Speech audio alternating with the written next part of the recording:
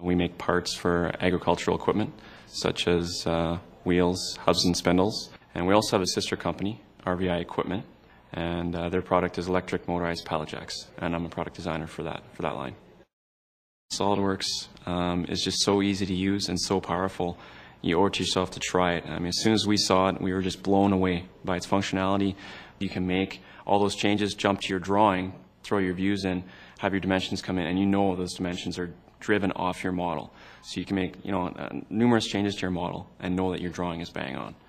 Having Cosmos uh, integrated in SolidWorks makes it so easy to do the analysis because uh, your, your, design's right there. You're, you're, dropping your forces in there. You're saying where you want to put the put the load, and your results are just bang right there. You're not jumping from one system to another.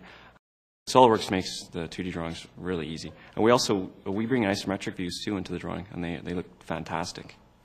Get SolidWorks. It is it is so easy to use. Um, we had a guy that was uh, working in a metal metal shop uh, doing sheet metal, and uh, he came to us, and within about three weeks, he was making production drawings with SolidWorks, and he couldn't believe the functionality and the ease of use of the sheet metal aspect of SolidWorks. Uh, it's just simply amazing what they've done there.